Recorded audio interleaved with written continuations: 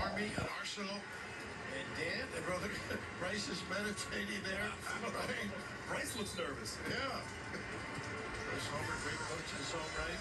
Yeah, Scott was his understudy for 10 years, then took over head coach for him for one year at Valpo before going to Baylor. Now Suggs.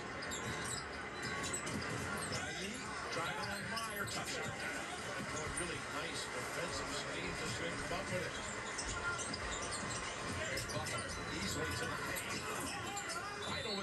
offensive rebound. And how about the play of Vital?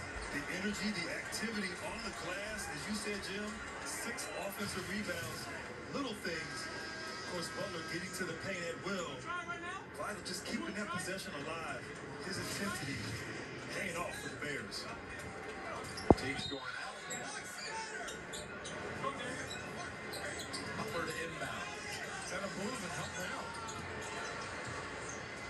All the way back to Mayer.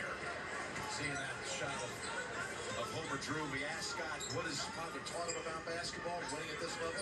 He said it's not the X's and the O's, it's the Jimmies and the Joes. I had the Sams and the Harrys.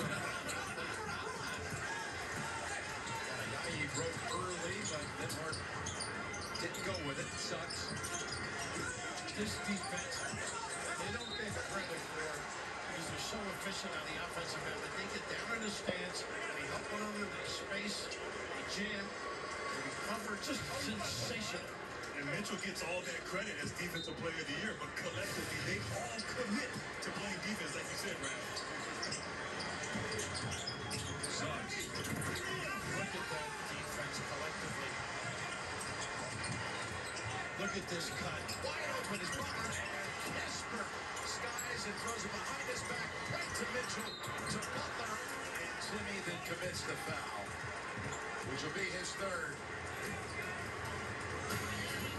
You trying to figure out some answers.